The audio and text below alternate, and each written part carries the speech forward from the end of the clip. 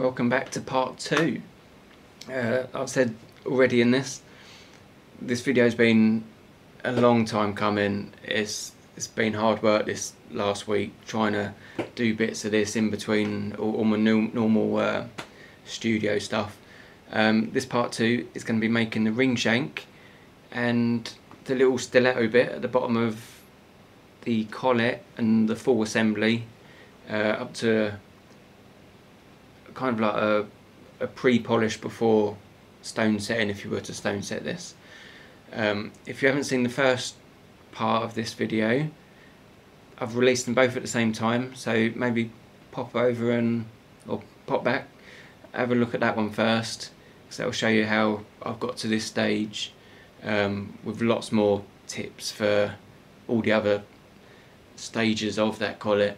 Um, but really hope that helps. Please like and subscribe at the end if this content's been useful to you.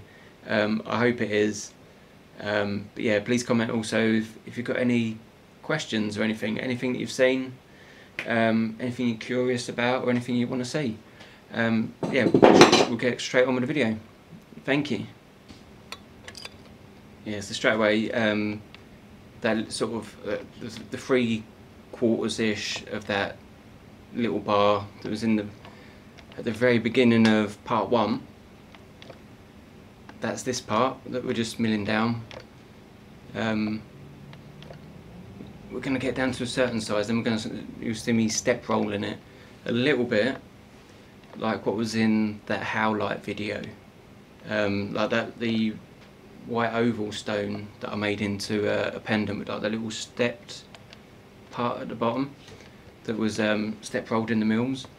I think I said I said before in one of the other videos, but a lot of these smaller projects are going to be ways of doing sort of various techniques that will be like very much like a Karate Kid sort of Mr Miyagi, sort of doing the wax on wax off, doing lots of little bits, then putting it all together in certain projects. So a lot of my smaller projects are, are actually aiming to do exactly that. So if you had success with something like that, you'll find this easy and you'll understand the, the actual flow of it. So, so a, a little bit like the Howlite video, actually put the blue pen on the middle section of this because this is the part that I want as a so the solder joint is going to be at the back of this ring, which is where it should be really um, for future sizings. But yeah, so the, where the blue is at the minute, this bit will end up being tapped flat. And I just want it nice, clean, clean metal because of like the shape that, like when you see the preview a little while ago. Um, it's got the, the split shank where it gets gets tapped up cut with like the little T shape and then split. Um, but we'll, we'll, go for all of that. I normally like to get the, the ends of these down to anything between 2.2 and 2.5. It really depends how big the actual stone is and what metal. Um, like I said in part one, and uh, uh, and welcome over if you've literally just finished watching part one and and you've tuned in for this one straight away. Um, like I said in that one, uh, it, this is silver, but mainly just for the video.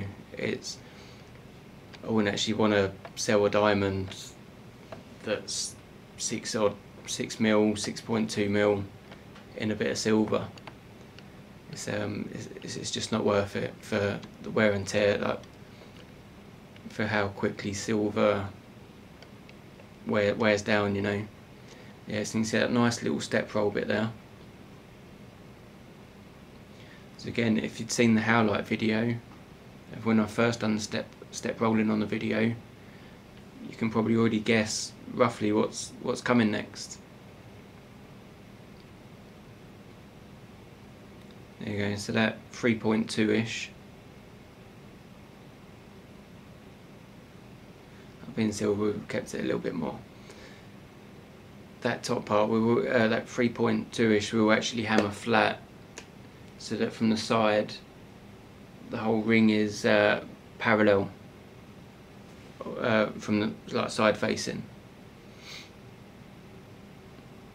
Certain ring designs you might want to, you could flatten it a bit more, but that that'll be in quite a few videos time, sort of dealing with something that goes to like, like pure knife edges, almost like the the classic uh, Tiffany shank, with like the little chenilles in the side and things like that, which are definitely one of the higher levels. Yeah, so all these little offcuts that you've seen me cutting off in these videos so far are literally all all sitting together in one little place. Um, not too far away, I'm hoping. I'm just gonna make a, a little knife, and the handle. I'm actually gonna make. Uh, I'm, I'm gonna actually carve in wax, and use the the wet sand, uh, like the uh, Delft clay kits. I'm actually gonna cast the handle, so all these little offcuts are all are all going towards that.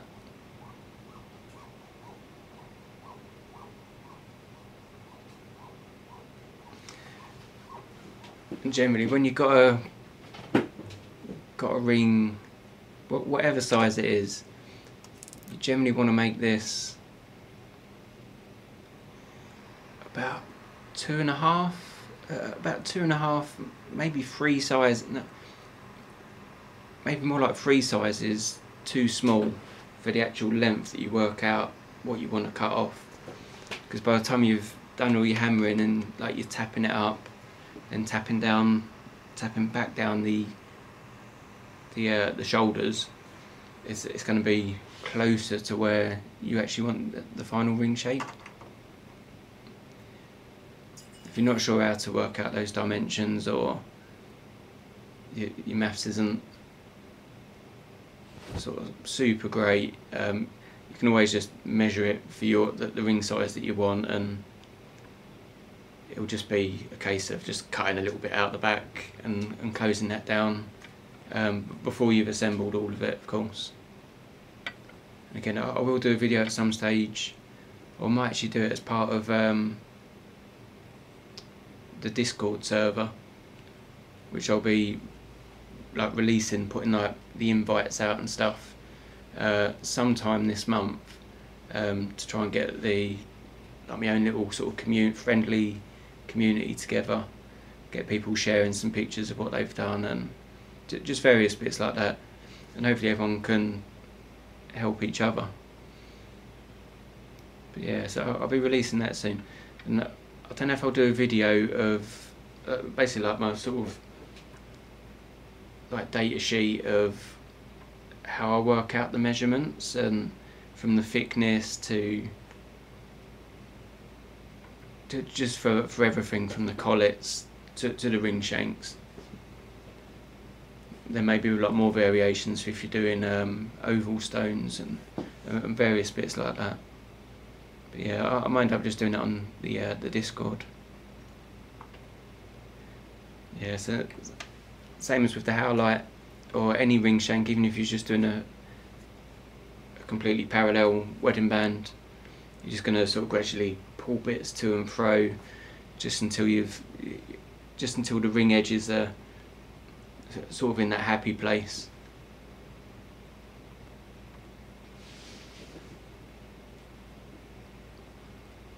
And bear in mind, don't worry if you get too many dents and scratches on this because you're going to be hammering this ring so much. Or, uh, my wife see one of the other videos. I can't remember which one it was that, that she watched, and then she, she I think it was that was saying, "Oh, you're talking about the, um, hammering rings and and uh, needing smaller holes or something." And she said that there's a lot of that's what she said uh, moments in it as well. But that, that, just goes with the jewellery trade. Lots of uh, double entendres in there. Oh yes, and this little tool as well. I kind of call these like the little sort of crocodiles. If you, um, I thought I'd sort of introduce them into a video because if you haven't got the actual uh, ring bender sort of tool that I've got, you can buy cheap ones on eBay for about, I think about like, sorry about like forty pounds or something, or whatever that is in dollars. I suppose that'd be like forty-five dollars ish or something not 100 percent. Uh, but the ones I've got are, are Durston ones and I think they're about 180 uh, 180 pound. But you can buy those little crocodile sort of um, or like parrot jaws almost. Uh, I don't know what you call it. But like um, but that's the other version what you could do. Just a cheaper way of, of doing it if you haven't got too many tools. And again for soldering I'm just using like my fluorescent yellow Auflux um, stuff that comes in the bottle. And hard solder. All of this video every single solder joint that you see me do is all hard solder. And that will be the same if I was using any of the carats of gold as well. I'll never go down to medium or easy. Hard has just got that bit more flexibility. Um, enamelling solder the extra hard one it's actually quite, or, or I find anyway, it's, it's quite a brittle solder. And the medium solder is, is very just sticky, just doesn't want to run super nicely. And if you're using easy solder, if you're making big mistakes, you shouldn't should never need to go to easy solder. Or maybe the only time you'd use easy is if you are soldering those hollow sort of beads that are literally like electro formed. Yeah, so uh, just a quick jump back onto here.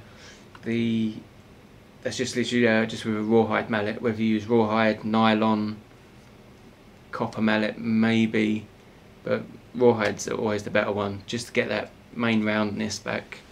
Not that it needs to be super round because we're going to be hitting this a lot. We're going to be hitting this hard.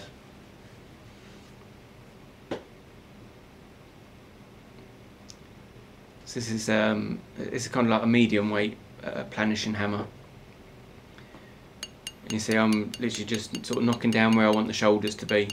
I'm not touching the top at all. So I want full thickness on that. I want, I want the full height.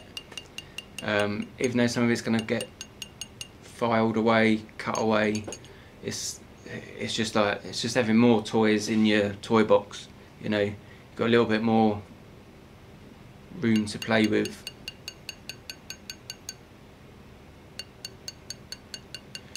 Yes, even at this stage I've gone around the back as well because even the back of that ring for it to sit on the inside was it uh, 2.36 I think it was something like that. Um, that's too thick. So that, this is where we're really starting to refine certain parts of it you know so you can, if you can remember back to the preview, you can already sort of um, hopefully kind of uh, envision what's going to be happening to this, like the way bits are going to be made thinner and um, although you might not, uh, if you've never done one of these before, you might not be expecting me to make those little branch arms sort of split uh, the way you think it's going to happen. So that, that might be a surprise to some people that have never seen that before. I've not really seen too many YouTube videos. I've, uh, I've I watched a couple just to see what a couple of other people were doing, but um, yeah, I, I quickly stopped watching and thought, yeah, I, have just got to do my own thing, um, put forward like my ideas and just, just hope what I want to do sort of meets up with what other people want to watch. Or like I said at the end of that last video, uh, at the end of part one, on nearly a thousand subscribers, um, it's unbelievable. I, I, I honestly thought they'll take like a year, maybe, or maybe more than a year, just to get to a thousand. Not for it to be taken seriously in about four weeks. It's um, yeah, I, I can't. Yeah, I, I haven't I haven't quite got my head around that. Yeah, so th- this is quite. I've drawn that on quite messy there. Um, normally, when I'm doing it for myself, not for a video, again, I would literally just do it by eye and just um, just tear the metal off where I want it with the file. Or like you see here, actually like a little bit of hammer first. But like the later stages in a minute, Uh, I'd just be using the file straight on it as well and just removing metal. If you haven't used one of these steel bar triblets that much before, you've got to remember when you're hitting on it, because it is on, because the shaft is on a taper, every time you're hitting it, it's making more Im, it's making like a bigger impression on the side that's closer to you, because that's the bit that is touching inside the ring the most. See, another that, that's what she said. But um, yeah, yeah, me and my wife, or my wife and I are massive Office fans, English and the American one, especially the American one. But yeah, so you see, um, that's one bit that I didn't actually, or, or, the video messed up on that bit, but I did actually anneal this, that's why it looks a bit white and frosty. So I'd annealed it before taking it off, spinning it round so I can sort of get down that other side it's all it's all just about just trying to get that sort of elegant shape uh, still, you know. And the more you do this, the easier it becomes. All of this will just be second nature, you know. A lot of this you won't be measuring. You'll just same as me. Like I, do actually have. Um, if I'm not recording, I have a TV on in the background, and you'll be the same. Even if you watch TV at the minute, you'll be finding that you'll just be staring at the TV and just you'll just learn to like balance everything from like the sound as well. You'll just hear when the hammer's closer to the steel bars and stuff. It's it's weird how it all just just comes together. You see from those last hits from both sides, um, because the anvil's on the opposite side to it, it's going to do both sides at the same time. But you can see how it's just just refining those little edges where it's kind of splattered over the top a little bit.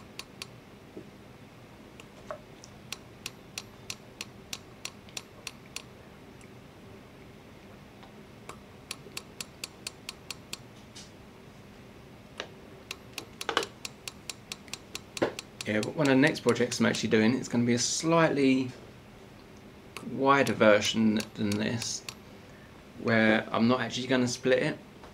I'm basically going to be doing like a, a knife edge up it. Um, so it's got like a spine down the centre. And just doing like a little sort of dome cut out. I'm just putting a dome in just for like a, a really simple little pearl ring. So this is uh, probably my most used file. Just a, a cut zero um, straight on the sides. Because even though we've been on the anvil and like that last part I've tapped all around the the, the main top half there um, just because I've done that bit. I haven't gone around the bottom so I'll always sort of jump back onto this and um, have to sort of flatten off the whole thing to literally just create a very smooth flat canvas for doing the marking for what you see me do and, and this is only roughly filing just to, so I can sort of almost like sort of step back and sort of uh, see what gauge everything is, you know. Just sort of like taking the whole picture and it's, it's the same as you probably find as well. This is like the same as anything I make. Um, even though I've done ring shanks like this, like I don't know how many hundreds, thousands, I don't know how many I've made like this. But literally every job I work on, or that I've got sitting in the pile, I think at the moment I've got about maybe 20 more things on the go at the moment uh, in the actual studio. But I'll have a plan ahead of this so that like if something goes wrong, just need need like a um, almost like, like a get out of jail free card, you know. So just uh, it's just having a plan together for in case something goes wrong. I think, oh, I'll turn this into this and get out of it. Um, so it's uh, uh, one of you recently. Um, you know who you are. The um, literally all of this is like a, a game of chess. Like uh, the whole time I'm making this, I've got each stage like sort of mapped out in my head of different stages that could go wrong. So it's literally like like a brainstorm of, like a tree tree branches of all of all these like little sort of contingency plans um, for when things go wrong. And at one time in my head, I've literally got that same sort of chess game of moves for every job that I've got in the safe that's uh, waiting to be worked on or part way worked on. It's literally always. That's why it's always good to like when you've stopped doing this in the evening or any type of job, you just switch off. Uh, learn to switch off. I haven't got the answer how to switch off. I'm sure there's a some sort of mental health um, YouTube channel that can help you switch off from work or stuff because it's really important because it will just drive you crazy if you think about this stuff too much. But yeah, but it's always good to, especially if you're beginning, just do one or two jobs at a time. Don't don't balance loads of stuff it'll, it'll drive you bonkers. You'll be pulling your hair out. That's what happened to me. That's why I'm already bald. Yes, it's a. Um, I'll just take this out. Uh, this is out of 400 grit paper. And a lot, there's so many time wasting things as well that a lot of people do. Because um, they don't realise how quick things actually take. Like if, if you're learning from someone at um, college or like university doing this, um, like I said, I was using a, a cut zero uh, file, hand file and they'll be like, oh yeah, use that cut zero, then go over the whole thing again in a cut two, then maybe for some more precious metal, go on a cut four. I'll file all of it with the cut zero. Then after I've done the cut zero, straight into the 400 grit paper. And I'm the same if I'm working on platinum as well. If if you just got that nice connection, nice movements, um, technique that you've practiced hundreds of times, and it just all becomes natural basically. Like you can see how smooth this is. And that really was just cut zero file straight to a 400 grit paper. And this is a cut to saw blade again. You can see I'm, going down I'm leaving about 1.4 ish doesn't have to be super exact. Um, 1.4 mil ish sort of a cut. So like from this point where I'm literally going into now, it's kind of the bottom of a capital T is the best way to describe this cut. And you see like so I can get a kind of straightish line as possible, I will sort of angle it and go upright. Um, I will generally do a, a lot of that.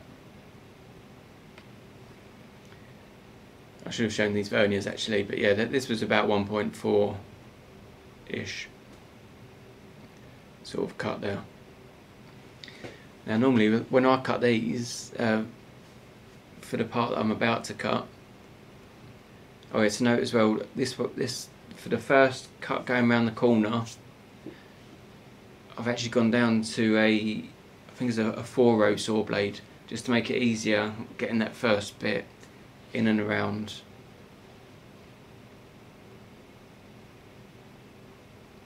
and the same with any sawing I'm kind of leaning backwards and sort of pivoting at the same time before then sort of going forwards. But you might find this easy if you do drop a saw blade a little bit. So yeah, and uh, with the dividers you see that I'd set like from the centre, I actually set like set my end points for where I want the bottom of the split. Like normally I would cut these absolutely perfect. Um, I wouldn't even necessarily need like my microscope. I'd just be cutting around and doing it. I sort of do it a little bit from this way, a little bit the other, then flip it over. You know, as I said, I normally do it perfectly. But like for me, this is just one of those things where it's really like there's certain movements for me that are really hard because I've got where I'm at the bench and I've got the camera set up to the side looking down, or sometimes from the right looking down. It's just really in the way, and I can't get everything perfect. So it almost puts me back into like, like a beginner mode for for certain things that I do. So, as an example, I think it's. So I was trying to time that perfectly for when I flipped it over. I couldn't think how long I was cutting for. But yeah, you know, but you know, it's when I do flip it over, there's one bit that's kind of dipped in and it looks really ugly. But um, the more practice you do, and I say what I normally do, it's a perfect line, it's a perfect curve. But like I said before in the other video, there's certain things I'm going to do on here, or like when it comes to snapping saw blades and things, I, am I'm leaving it in, because um, it shows what some of the shit bits, you know, it, it can show how unforgiving some of these sort of um, things are. And I thought I might as well go through the same pain, you know. Like even on this bit, cutting around this curve. So we do it at about 1.4, just in case we do drift a little bit. And this one, I did actually start drifting towards the inner ring a little bit too much, or more than I'd like to anyway. I'd, I say that normally I'd like to just get on there and just go straight in straight in and cut the thing, sort of uh, without any problems. See, as I'm cutting this bit now, it's what it's doing to the other side that has kind of gone inwards, which you'll notice when I flip it. But I say, I said I was going to leave it in.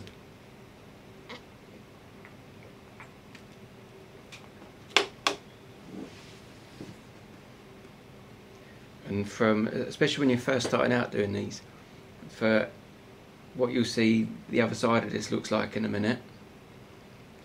This is the reason why you wouldn't go all the way around in one go just from one side. And it makes it so much easier for cutting. Yeah so you can see the, the other side of this has really drifted inwards. Like for me it's just because the camera's in the way and it's just doing my head in kind of need like an invisible camera or like a little miniature thing really that you don't know that's there. But as you can see I've kind of used the uh, as much of the saw blade as I can but really just trying to just just do like a, a nice uh, sort of gliding along and I've kind of lent it to the left a little bit still aiming right to go on the curve but I've lent it left a bit. And that's kind of brought that the top part of that split anyway kind of back into line. You'll find that this is like the, the trickiest most annoying bit out of all of it. Well, I, I think so anyway. But after a couple of these you'll um, you, you, you'll just get the hang of it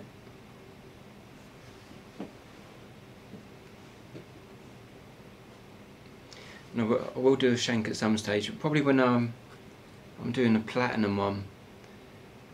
Some people actually make uh, a normal band,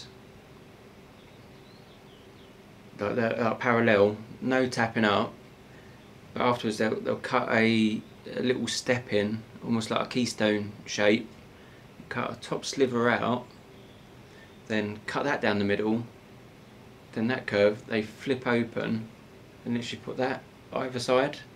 So then they'll solder those parts on. I'll, do I'll, I'll do one at some stage just to show you a variation. It's it's not my it's not my favourite way because I, I like things that have got as fewer soldering joints as possible. Uh, sort of more welds less solder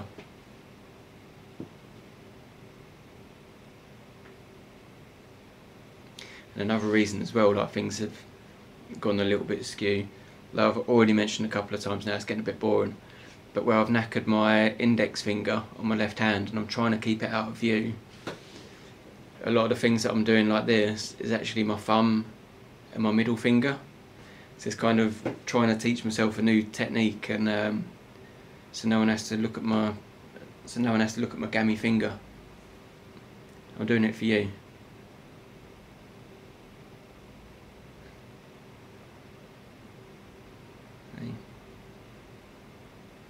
And the reason these uh, and the way these can go wrong um, so quickly, like really quick, two or three strokes, it could just go in too far, and and and yeah, yes, it's game over. But that's why it's definitely worth practicing these in silver. But even this one I've made in silver. Um, obviously, silver tarnishes if it's not used much but I've, with a silver polishing cloth I can keep it quite nice. But I'll actually put that in my display tray so I can show clients and sort of uh, different things that I can do. Especially when it's something a little especially different like that. There you go so you see how I've kind of, from like the bit that's on the right on this side that has started to drift in a little bit how I've kind of rectified that. Just from a bit of clever leaning and you know. Right so this bit in a minute you'll see the very top of that capital T I'll cut those little corners off so I can get round those pliers and basically and bend it up which you can do. Um, you can do that straight away but like the almost like these bits that almost look like fists they will just lift up and stay very straight. Whereas by me doing this and if you feel more comfortable you can just file these bits off rather than saw them. But by taking this little sliver out it's kind of weakening that bit for that for the next bend that we're going to do. And the only reason I've being that this is silver and it's not that expensive at all, I would have been tempted really just to use my cut zero file again and just a few strokes and just killed it. But I thought I'd leave this in so I can explain why I normally cut this. Because um, most of these that I'll make will be in platinum and little offcuts like this in platinum are basically what I'll, I'd put in the uh, the uh, rolling mills.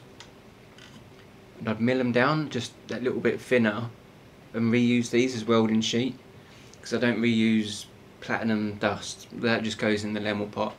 That goes off to the sort of smelters once a year uh, like the good stuff.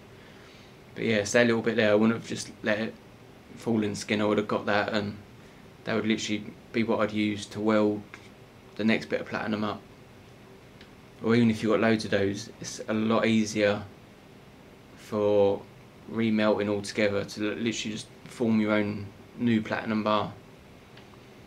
That'll, that's uh, yeah, it's, it's just just a nice way of reusing this little bit and not have it as all all complete dust.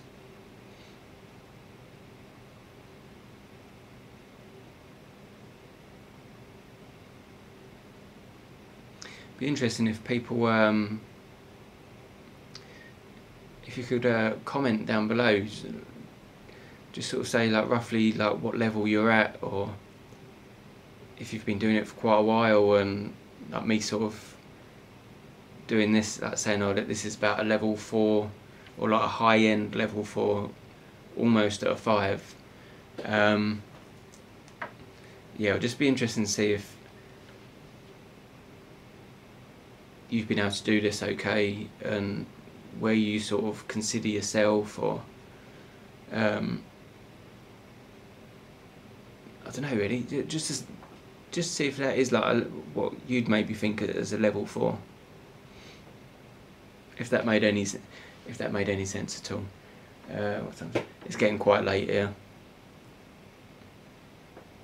It's getting quite late I'm tired. I've just really wanted to get these two videos out. Um, it's been 11 days since I put any on, and it's I said in the uh, part one, it's been so hard finding time to to do all of these. It's, it's, yeah, I struggled a bit for these. Yeah, so this is the first little bit, just taking off the corner. You see, I do go in again and make it a little bit wider for my uh, smallest round nose pliers.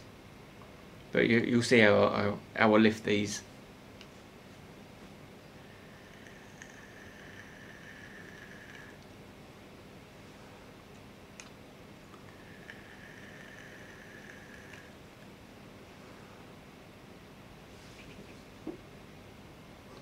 And an extra little thing as well, uh, the reason why I'm doing this twice is because that hole that I had just cut, my, my really fine uh, snipe nose, round nose pliers, or chain nose, some people call them, that I use for doing that are actually kind of dead now, and I forgot. So I've had to open these up a little bit for my next size up. So that, that's why I'm doing this twice. It, you can just do this once if, if you know roughly what, what size your ones are. Really there's no reason to do it twice unless you've uh, made a bit of a cock up.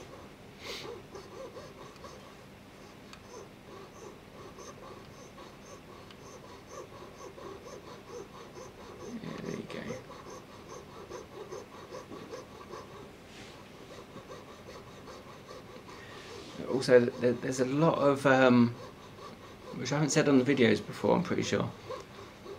But a lot of the like I did go to college. I actually went to uh, a place that was called Kent Institute of Art and Design which is based in Rochester Kent in uh, southeast England. And okay yeah, so you can see roughly how that is there but a lot of that course uh, for doing the um, my degree a lot of it was like design based and literally when I first went up started working up in Hatton Garden up in London um, I literally had to relearn how to solder things because like, some of the things that I was I, I was actually taught was quite a waste of time um, in many aspects of it and we certainly didn't learn to do fine jewellery there. A lot of my fine jewellery side of what I've learned is from days when I do quite a few repairs. Yes, you can see I'm just kind of leveling leveling these up so they're roughly even. So we'll be jumping in with uh, files um, for the next part. You can see roughly where I want to be on this. But yeah, but um, the, early days of when I'd done repairs, uh, working at different places, luckily at that stage I did have some okay bosses because um, I did ruin quite a few expensive things. But basically, you you mess something up, like a tiny little component of an antique ring from like the 1920s or earlier, and like the boss would come up to me and say like you've uh, like proper done a number on that basically. Basically you've messed that up. You've got to remake that little component to match and you've got to make it perfect so that you can put it back in um, solder it or weld it whatever you're going to do so that you can then carry on with the job so that no one's ever known that you've made a mistake. I say it's, it's been decades since I've made a mistake like that so yeah, to jump back onto here, these files are both a cut to barrette file or safety back, but you notice one has been on the grinder and just streamlined that back and made it shiny. And we're just going to go in and gradually uh, just smooth off all those like saw frame marks. But yeah, um, yeah, that, that's basically how I did it. So certain aspects of jewellery training, if you know a lot of the basics and I say I was forced to have to make certain components absolutely perfect or um, I probably would have been fired um, a few times in like the early 2000s and that yeah, yeah I probably would have been fired a few times. But yeah but that, that really is how I learnt to make like the, the real fine jewellery I say that this is kind of fine. It, I'd call this fine if it was in platinum and things were a little bit more streamlined. Like um, certain bits inside these if it was platinum and gold I'd actually be pre-polishing all of these as well. Um, you'd be, you're more than welcome to do that on your your versions if you're going to do a, a silver practice one. But really everything just just needs to be nice you know? It needs to look needs to look good. So yeah so I, I suppose this would be fine jewellery especially with some of these techniques. But um, at some stage I will get to what I call really fine jewellery. I'm not talking about really super thin skinny rings or anything as in fine just as in just really like sort of beautiful crisp lines. Um, just everything really accurate. That's why I've called this a level 4 because there's certain bits I haven't done on this which I would do for the higher level tutorials sort of later on. But yeah this uh, this cut 2 Barrette file where it's got that, where it's really streamlined, it's thinner than a bit of card um, at that finest point, but that can really get into some of these like tight little spaces. So yeah, so you can see from here, it's, it's quite neat already, but there's there's certain angles and there's certain bits of the curves that aren't super neat. There'll be certain bits on this where you'll see I'll, uh, I might point, I think one of the bits here I do actually point out with like a, a pen or a file or something and say that I've, I've got to get shot of this and basically have to just do a little bit of buffing because um, as you're doing some of these bits, yeah, sometimes you can put more scratches on uh, in certain ways so there'll be lots of things that sort of pop up. You think, oh shit, I've, you think, yeah, I've, I've got to get rid of that now. I've got to, just got to rectify different bits as you go. But say like something like this being silver, just steaming through this, just sort of getting the job done. Whereas if on this I was working on platinum, even before I put them in these wooden hand clamps, uh, basically like the, the leather on these are long gone. I, I'll just keep putting new leather in on these sort of clamps. But if I'm putting platinum in now, I'll actually dust off inside the platinum. I'll try and keep. People say like that if, if you want to polish platinum and get nice and smooth, try not to scratch it in the first place. And it really is as simple as that. Just treating it carefully, just treating it nicely, you know.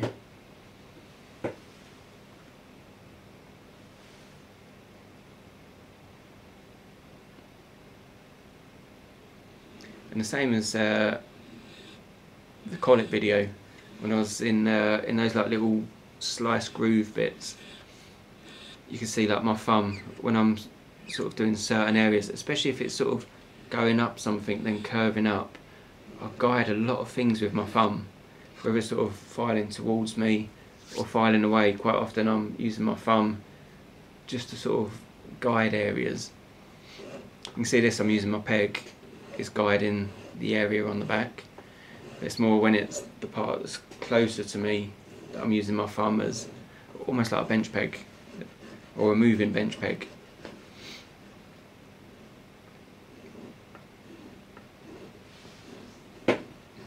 So where this whole ring's probably about 2.2 mil wide at the moment. Um, I said before, at some stage I'll do like a little knife edge one so you can see it, so it really take that from the side isn't parallel. It will really taper in like a like to like a fine point. But um, yeah, just like a little bit of imagination. You can imagine if if this was a, a finer metal with a diamond in top, these little parallel lines you could put maybe 10 or 15 like 1.2 millimeter diamonds all down that shank sort of dotted uh, nice bit of grain setting all those little mill grain wheels. You can could maybe sort of uh, box it off with that. And the thickness that I've left these top bits you could even drill the stones in to the right size with a little needle file or the little even like 0.8 little um, flame burr actually do like the little side windows in the grain set that you see. So it's it's, completely up to your imagination. You can like for me I can see loads of different projects in this um, as soon as I look at anything like this.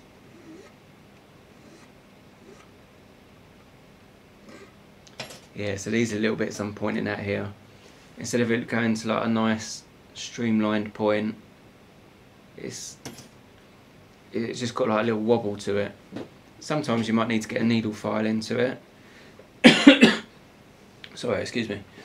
But yeah you can um, you can see here like because I'm actually holding the piece in the studio I could see that that only needed a little bit of paper and it's just brought it back down. Yeah. And again that this is only prepping it.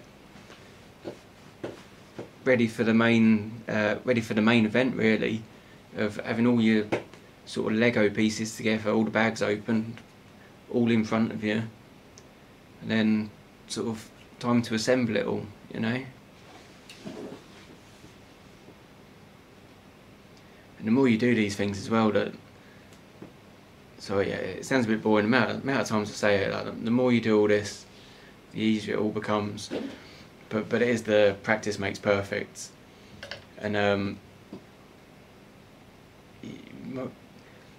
certain scenarios, especially if you're um, if you're a hobbyist and you've got a full time job, probably doing something completely different to jewellery. Um, there's certain things like this might take you a while on the bench doing, but and I know it can be frustrating. Like you might think, oh, I've got to go work to a job that I'm not really that keen on, maybe, or you might be keen on it, but think be thinking, uh, I really want to go home and do a bit more practice and stuff. But everyone's different. Some people are luckier with the amount of time that you've got to practice and the biggest thing is just the patience. You, you don't you don't need you don't need to rush. Yeah, so luckily um, this has almost gone in first time. Um, kind of marking it out. Sometimes you do have to tinker around quite a bit with the upper sides a lot, um, but this happened to just go quite well.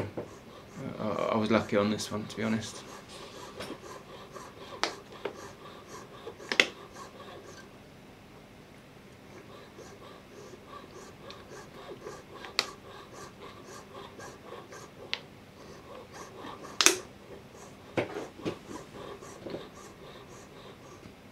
Yeah, if all goes well, what's it today?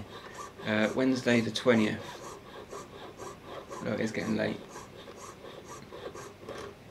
yeah, but by the time I've gone home, uh, had something to eat, I'll, I'll, try and put these two recordings over, like the commentary bit, over the videos, and I'll, I'll try and sched schedule them for tonight. Um, probably depends how long it takes to render. Um, but I imagine anyone in the UK will probably be more tomorrow that they'll see it. Uh, it'll be more like six or seven hours from now. I'll try and schedule it. So it might be before some of you Americans go to bed or, or wherever you are in the world. Oh yeah, so when I'd actually done this bit, this is for the under bezel. Um, this was basically a bit of 4mm round wire. The video footage for this bit didn't work. Uh, I don't know why it didn't record properly.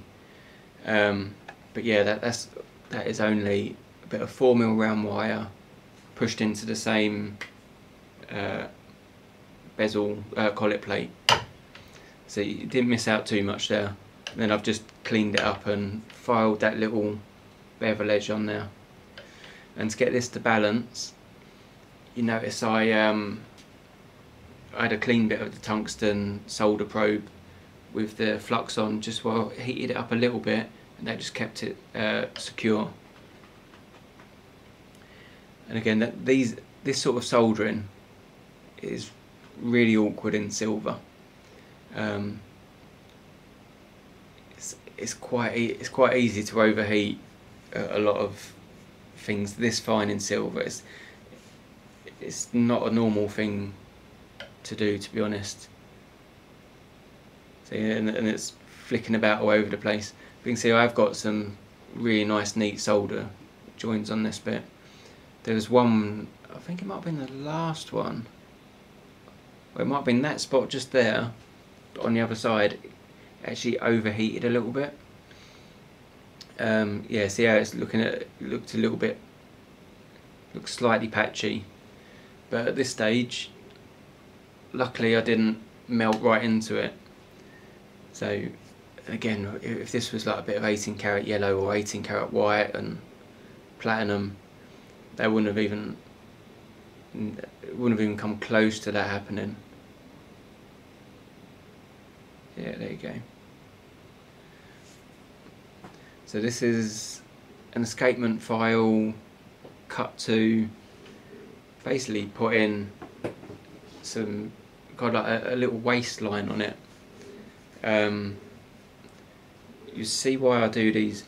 Some people will use see I, I like the collets to go sort of down or almost bowl like and then go to like, a, like the little stiletto sort of heel at the bottom. I like it to sort of come down and then sort of uh, do a little sort of curvy flick at the bottom. Uh, only fractional for that little bottom section but um, you'll see why I do that in a minute. Because um, it's the one thing no matter what metal you're using will literally save it'll mean that you don't need a, a pulse welder to tack things together to hold it in place. Um, just the way it sits in the collet but you, you'll, you'll see when this bit's done and prepped and stuff you know. You get to see it. Because yeah like I say I like mine to sort of go down then flick out at the bottom a little bit.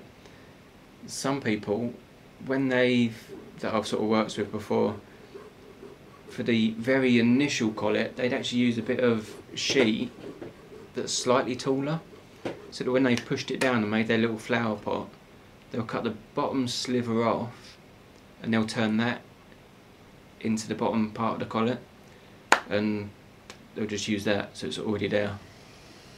I say I, I like mine to be like a little bit more elegant not as bulky or I, I find when people use the ones that are like the same size or almost in line I think it doesn't look as elegant and I think especially if you've made it for something that's quite crisp it can almost look um, a little bit CAD CAM like someone's done it on a bit of Rhino software or Blender or whatever anyone's using at the minute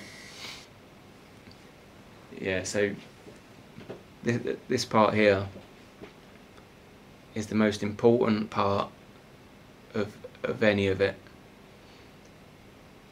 Oh, uh, this is just a little pre-polish. I only did this little bit. I say if this was platinum, I'd be going in there um, with a buff stick that's cut down even more than this one, uh, just so I can get right in and on the up, sort of like the slopes coming up as well. Uh, I'd be doing. Uh, just to get a really nice finish in there and pre-polished and all that. And probably if it was those metals I'd be thread polishing it at the end as well. We get like the cotton strands up sort of twiddled together and that and a bit polished but no it's um, when it comes to the, the cutting bit now um, it's these following few little steps that are the most important. Because um, the same as like when I say cutting that capital T shape saying that's probably the, the trickiest most awkward bit actually it's not it's I'm forgetting this bit.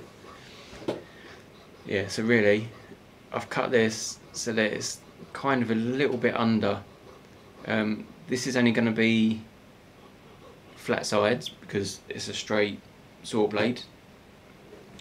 Um, basically just going to be getting that in and, and then you'll see what I'll, I'll be doing.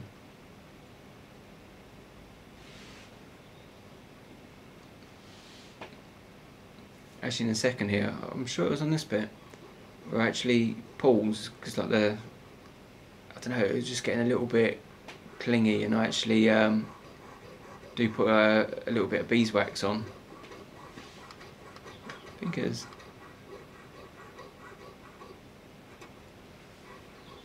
Uh, uh, it's alright. Just make myself look a liar. I'm sure, I'm sure so I'm sure there's one part in this video where I actually used a bit of beeswax. Saying that I don't really normally use it. But yeah, so again, a cut to half round escapement file and just really carefully trying to get down that centre as much as possible. Um, and you're going to see why th this helps in a, in a second. It's, it's quite an important part. On this part, I was quite believed that it that the actual uh, footage actually uh, was quite sharp and I could zoom in quite a bit just to show it. So it might look like I was sort of going at warp speed then, but there, there really is no no rush to do this bit. Take your time, because if if you can imagine the collet's about to go in the the actual centre of this, if you've over filed one side, when it comes to putting it all in, you could end up having a half mil gap between the top of the shank and the collet and it, it's not even. Whereas if something like that happens you end up having to file a bit more on the other side and then a little bit more out the bottom of both sides then literally closing the ring up making it slightly smaller so it so the top parts meet the collet again. But that's um, that's just a way of getting yourself out of trouble if anything like that happens. Yes you see both these uh, bottom branches now have got that slight inner curve so then on the bottom of this stiletto part this is only um, a 2000 grit uh, half round buff stick like a pre pre bought one just to put a bit more definition on that outer curve of that. You see I'm just giving the little curves a once over.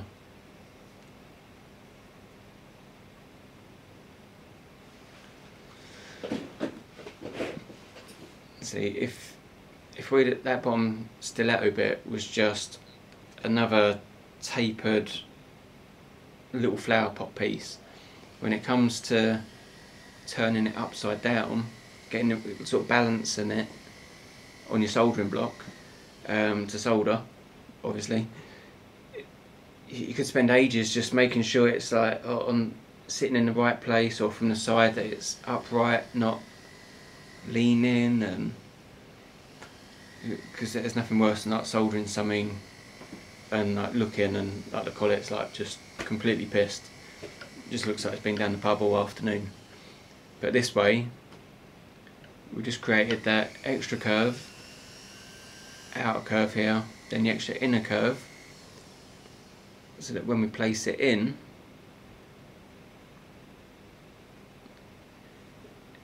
it basically sits where it's supposed to. Okay? So you see, yeah, it's obviously I won't just solder this. Um, that's a bit I left actually. I did go and sonic it, get all the polish off.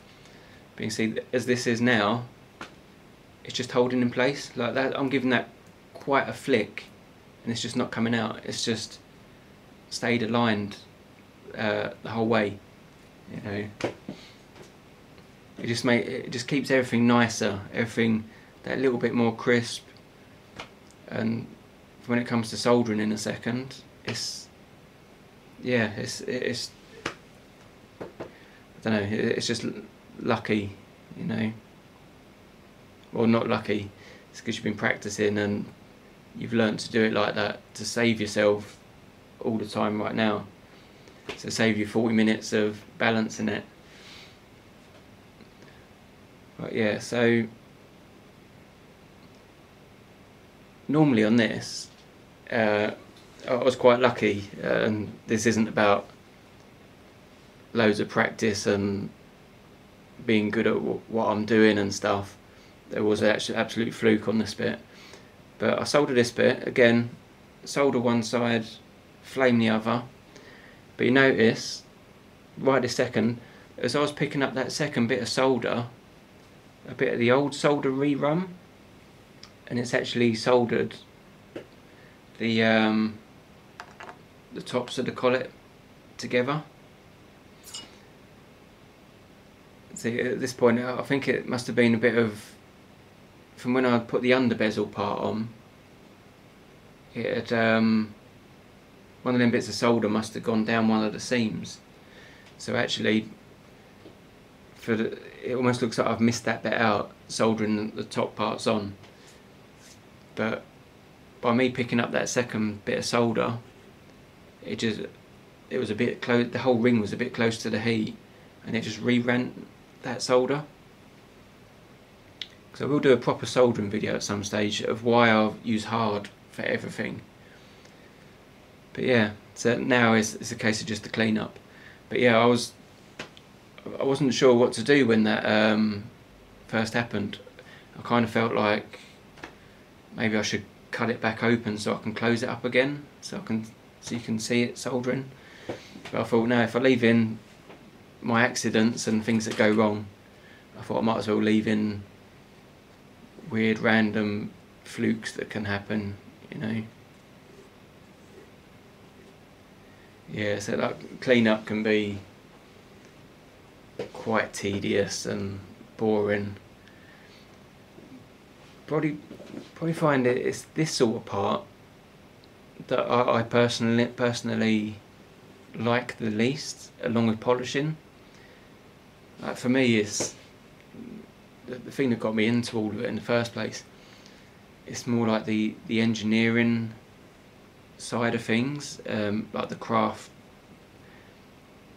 like the the uh, yeah, more the engineering. I obviously, love the metalwork and used to love Lego as a kid, and I've always seen it like that, as though you're making all little separate components that all sort of clip in together and and that sort of thing. That's like the appealing part.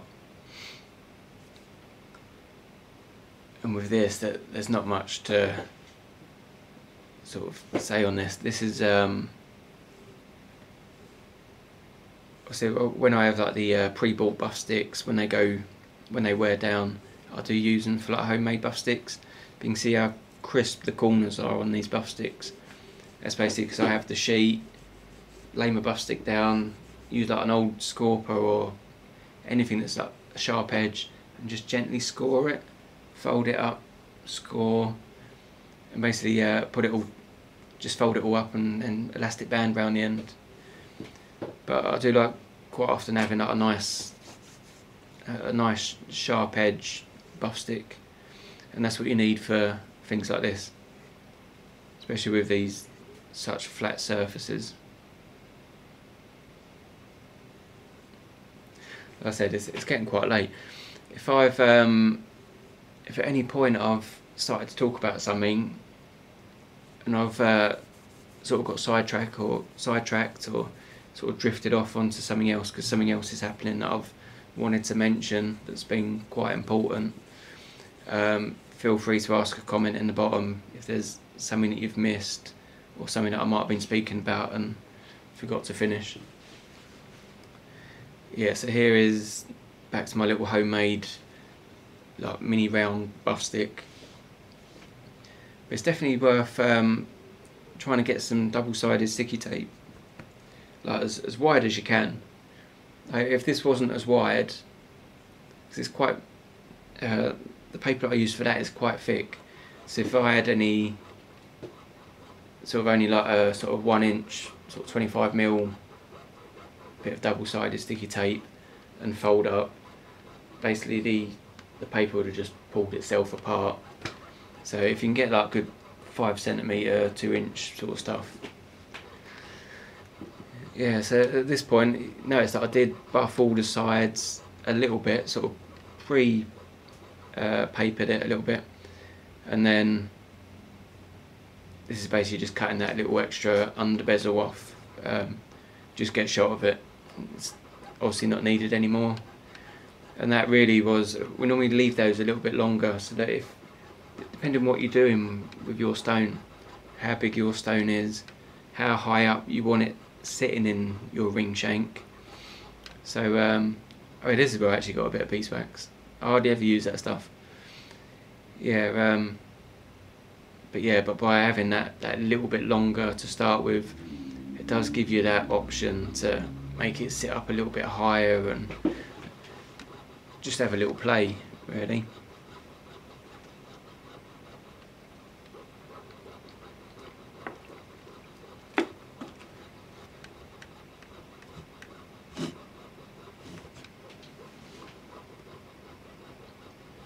This stage I'm kind of just hoping I've got enough battery left in the camera. I think, I think we're good.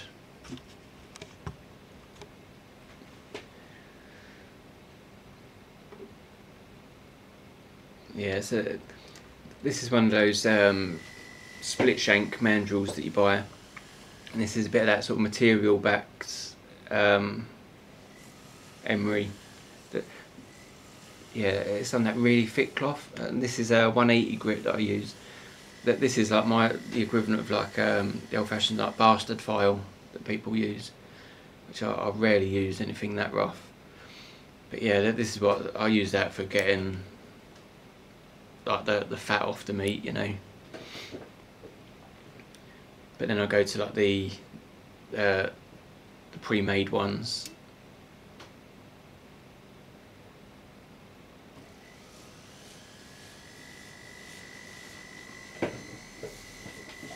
So certain rings, um, some engagement rings, most of the wedding rings, if I'm putting that inner curve on, I want it a bit more comfortable. So I will go in with like a ring file, like the, the slim half rounds, and really sort of like file in nice and evenly, sort of turn in and and um, just getting it nice and smart, all, all just nice and even. But when it's something like this, I will just use these little spinning wheels and just do like little light skim. Just put on like just a, a nice little chamfer, you know. Also helps that if you make if you've taken an order for a ring and like me I'm normally give like a lead time of like six to eight weeks because um, I'm normally quite busy. But sometimes by the time someone comes to collect a ring it needs to be a different size uh, for whatever reason it might just be uh, because of the seasons might be coming out of autumn getting into summer and people's hands are starting to feel like bigger sizes, you know. So it's nice not taking too much off the inside because quite often I do have to resize straight away. But it's just a normal thing.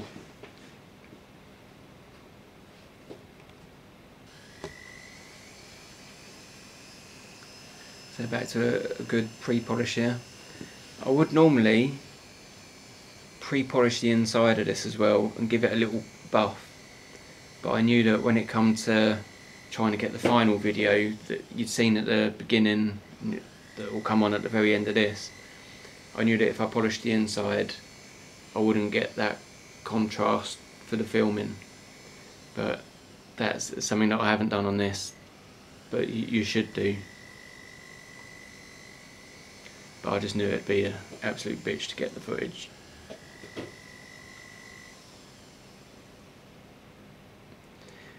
See, uh, like I said before, when I do a video on basic things of like me sawing, sort of like when I use twist drills for drilling, that I don't drill into metal as I'm pressing down, as I'm accelerating in and or pushing.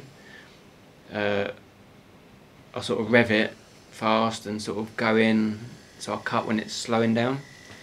And same with like these sort of felts. It's like my little techniques. Like this felt, you, can't buy, um, not the way I want it. So actually buy the flat-sided ones, and the good ones are these. I can't even buy in England. All these ones have got like a little capital P on the end. So I don't know who the manufacturer is, um, what factory they've come from, what country. But I actually buy these in uh, from Hafner in Germany. I just normally buy, just get 100 in at a time or something, so I don't have to get that sent over from Germany all the time. Just, it can be a bit of a wait sometimes. But when you've, um, yeah, I know a bit, little bit of this footage was a little bit blurry, but for the way I was, I, I couldn't not put it in, if you know what I mean, because it's quite important for like the angle that I was going up. But yeah, um, yeah, like I was saying, like in the video, I'll be showing how I trim these felts to the shapes that I want, and how even when they're worn down quite a bit, I turn them into other things. Um, other like sort of trickier looking little shapes. I was saying that actually that this is one that I had. You can buy a knife edge. Um, you find they're really hard, they're, they're it's such a hard felt.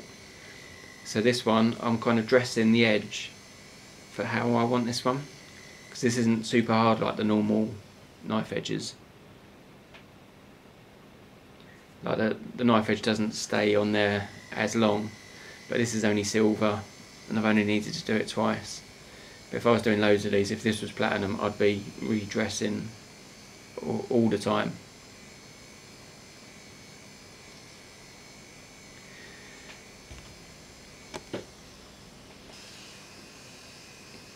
You see also where I've trimmed it down to a narrower thickness, when I was on that top curve there, or even now on the back, it kind of takes the shape. So even though I've done this as like slightly rounded on the very edge, as that's spinning, it's like spinning around like in a normal circle, but it's kind of dipping over that bit and going back to its normal circle and still keeping a nice shape. Um, I'll do videos where I go over stuff like that because it's a shape that the manufacturers really should sell. And uh, only one other place that I've worked at before in getting on for 28 years of doing all this, I've actually seen someone that actually trims the uh, the felts as well themselves. I might be wrong. That's literally just the only people that I've worked with. No one ever does it, and they certainly don't sell uh, the shapes that I like. But yeah, so that this has been a, a long time coming. This video, it's, it's been hard work putting together. Um, thanks again for nearly a thousand subscriptions at the time of actually recording this. I hope this has been helpful. There'll be more variations of this. Um, there's not much more I can say. There's going to be loads of everything.